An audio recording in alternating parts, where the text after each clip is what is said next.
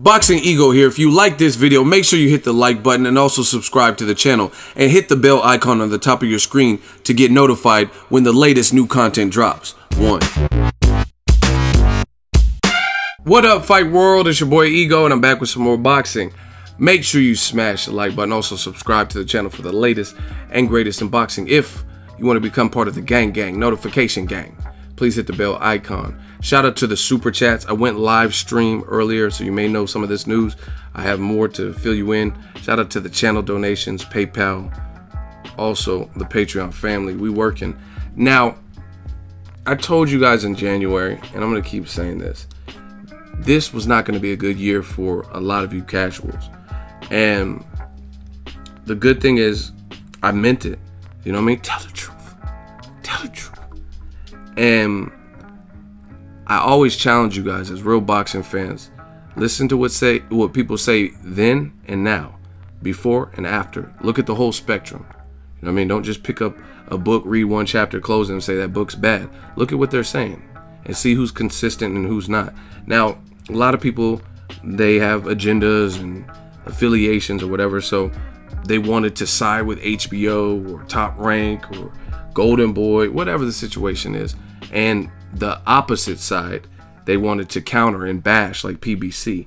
But truth be told, I, I tweeted this earlier. Showtime Boxing has been killing in 2017. This is my opinion. Has been killing HBO, right? Especially regarding their their premium content. Meaning, if I have an HBO subscription and I have a Showtime subscription and I only watch those channels for boxing, as a boxing fan, clearly Showtime is delivering a lot more. Because you have to keep in mind, even if you have HBO or Showtime, you don't get their pay per views included with that package, right? That's a fact. And I, I told you a good idea, and I'm waiting for someone to bite this idea, someone up top to hear a video like this and bite it. But I think it would be great for and a great service for your boxing fans because literally my cable package I don't watch Ballers. I don't watch anything else. A lot of the movies I just red box it or I already watched it in the theater. You know what I'm saying? Or I buy it. So I really have HBO and Showtime for their boxing. And I know there's a lot of people. You may not think it because it's a small niche, but a lot of people like that, right? And we'll get to the topic of this video. But long story short, if you only watch those networks and subscribe to them for their boxing programming, I mean, Showtime's clearly delivering a lot more because, like I said, Showtime, they've only had one pay per view. That was Mayweather McGregor. It had to be to pay for the event and, and the fighters' salaries and, and all that. It wouldn't have done it justice to put on regular Showtime. I mean, why? If you can make the money, why not? Canelo Triple G, okay, that had to be on pay per view. But HBO had Ward Kovalev on two on pay per view this year. They also had um, Canelo Chavez Jr., which was pretty much a dud, things like that. Now, fast forward to the Showtime side. On their regular network and their affiliates like CBS, you're getting Danny Garcia, Keith Thurman. Adrian Broner fought twice already, and he fought Granados. I was at that fight and had a pretty stacked card with Lamont Peterson. Marcus Brown, Top Dog Williams was on that card. Leo Santa Cruz. You had Broner come back and fight Mikey Garcia, another stacked card with Jermell Charlo and Eliminator. You had Berto Porter with Jamal Charlo or Jamel Charlo versus Charles Hatley. You know what I mean? So they're stacking the cards pretty well. Now, like you guys see in the title, November 4th, it is official. Deontay Wilder versus Luis Ortiz. Hell of a fight. Hell of a fight. Now, before I get into Wilder Ortiz, you have to keep in mind there's other great fights. Like I'm really looking forward to Rigondeaux Lomachenko. But from what I've seen, and I, I mean, obviously I don't know what, what top rank is planning with that, but by and large, PBC is delivering as far as the stacking of cards. I was just at Canelo Golovkin. I covered that fight as media, and the undercard was not great to me. You know what I mean? Jojo Diaz was supposed to have a tougher fight, but he pulled out. You know what I mean? He got injured or whatever happened. But it just wasn't a great stack card. PBC is, is stacking the cards like the 154 pound junior middleweight fights that's coming up in October. That's that's basically like a tournament you really have all the top guys at 154 really, except for Demetrius Boo Boo Andrade in that. You know what I mean? You have undefeated Terrell Gausha versus Erislandy Lara, who arguably shouldn't have any losses. You have uh, up and comer like Erickson the Hammer Lubin versus another undefeated guy, Jermell Charlo. Then you have a new IBF champion, Jarrett Swift Hurd, versus a, a, veteran who's been in there with Cotto, Canelo, Lara, and that's Austin Trout, Jamal Charlo. Right? So, I mean, it's just crazy what PBC is doing. They're stacking these cards.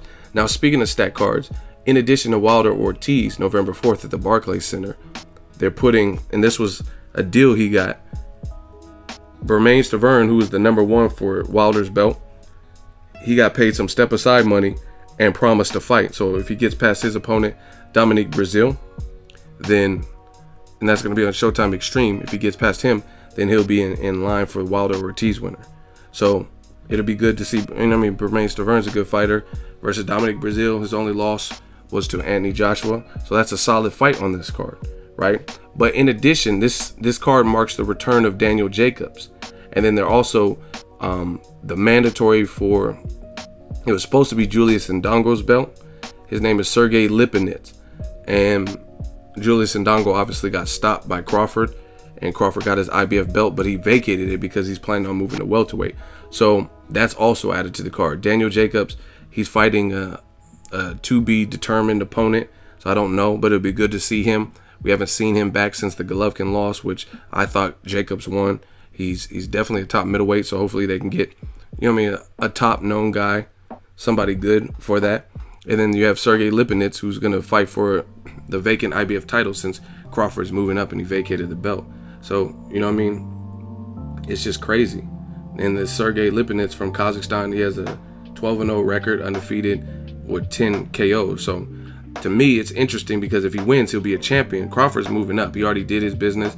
So Mikey Garcia might land at 140. I don't know if he wants to go back to lightweight, but you also have Regis Progress, Progress, or whatever his name is. Um, so we could see, since Crawford is leaving, we could see who, who's next up at 140. And like I said, Daniel Jacobs always puts on fan-friendly, fun fights, and I want to see what he's looking like since his March loss to Golovkin. So hopefully they get they round up a good opponent. And Bermane Stiverne, Dominic Breazeale. Breazeale's in entertaining fights. He's much taller than Stiverne. So Stiverne's been out for 19 months. That could be a good fight. So I'm just looking forward to it. And then uh, obviously the main event, Wilder versus Ortiz, goes without saying. I, I really see someone get knocked out in that and that's just all on one card that I know of. So I'll keep you update when Sergey Lipinets his his opponent selected and Daniel Jacobs. But I mean, without question, as far as the regular premium programming, Showtime is murdering HBO. Because name the HBO card that was this stacked, or stacked like Berto Porter, or, or the junior middleweight. Um, like I said in a previous video, you know a card stacked when the main event there's other fights on the card where you're like, nah, that should have been the main event. That's how you know. Because when I'm at Canelo Golovkin, there were no fights on the undercard that I was anticipating more than Canelo Golovkin, right? You, when you look at like let's say the one card Mayweather Canelo, some people might have been more eager to see Danny Garcia versus Lucas Matthysse than Mayweather Canelo. Let's say they like, oh Mayweather's gonna school Canelo, but Danny Garcia, Lucas Matthysse, you know what I mean? So when you can get an undercard or a co-main event fight that's arguably better than the main event and that you're anticipating more, that's how you know when you have a good card. Because that doesn't happen all the time. Like I said, Canelo Golovkin, there was no fight on that undercard that I was looking forward to more than the main event. But in that 54 pound, I'm looking forward to Erickson the Hammer Lubin versus Jermell Charlo more than I am Erislandy Lara versus Terrell Gausha. Now that's not a diss to either of them or shade. I'm just saying my personal taste. I don't know what to expect from the Jermell Charlo Lubin fight, and that's the one I'm really looking forward to. And this happened again with Ringstar and PBC when Abner Mares fought Jesus Cuellar. I'm like, that's a good fight. This was in December, but I was looking more forward to Jamal Charlo versus Julian J. Rock Williams. So to me, that's how you know PBC is stacking cards when when you have co-main events and shit that could have been the main event. You know what I mean? They easily could have made Jamal Charlo versus Julian J. Rock Williams as his own main event and then put some other fight on the Abner Mares Jesus Cuellar and really stretched it. But that's what PBC is doing. So like I said, listen to what people said then and what they're saying now. What happened to PBC is going bankrupt. They can't pay their fighters and they won't be around. Shit, they're doing a pretty solid job. Stephen Espinoza, Showtime, Showtime affiliates, and Premier Boxing Champs because I'm looking forward to this. Like I said, I, I personally would probably be shocked if Vasil Lomachenko Guillermo Rigondeaux has a fight where I would rate it like an eight on the undercard. Not talking the main event. I'm talking about undercard. If they put in like a undercard where I'm just like, wow, that's like Jeff Horn versus Jesse Vargas or you know I mean, something that's real, real good, right? I would be surprised if they did something like that. But we shall see. Let me know your thoughts. Wilder Ortiz is a great card.